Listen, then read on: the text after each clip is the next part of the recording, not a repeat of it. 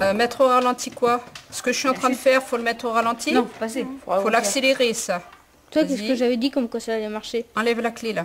Attends, on n'est pas fini. hein. Eh ben non Eh ben si.